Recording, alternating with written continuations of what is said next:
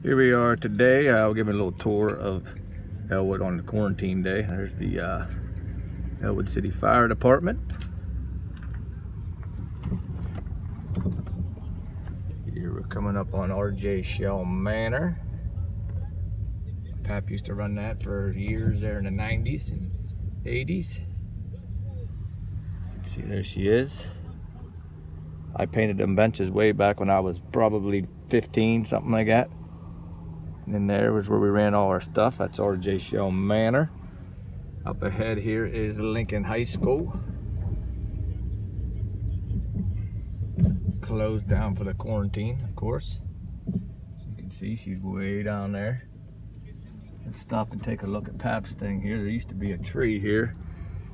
Used to be a tree here dedicated to Pap, but uh, I think it was removed because it was dying or something. I don't know, but uh, we're spending many Halloweens here hanging out whatnot, so this is kind of neat to see this again. And here is his sign, still standing there. You can read that. There used to be a tree there, that's my, my pap.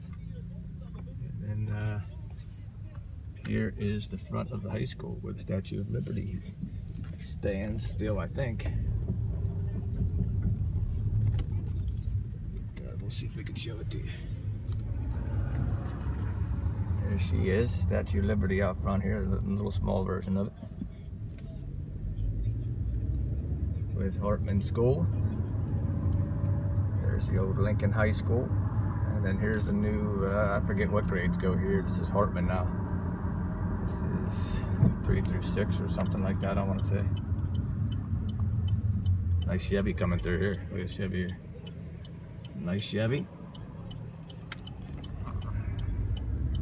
This is Hartman School, of course. Elementary school closed down. We got the Holy Redeemer Church over here. Never been in that church. Actually, I was in there one time for a wedding. I think I was in there for Brian Levin's wedding, I think, or his mom's funeral or something. Johnny's Pizza up there. And this is the rear of the school here. As you can see, there's your Wolverine sign. There's the parking lot. That's the big gym. Sad, but we should be in school today, but uh, we're on lockdown. So we're gonna give you a little tour of the schools and stuff here. This is, I never knew the name of this road here, but uh, there's some houses over here. We can go straight through here. There's the manor down there again, as you can see.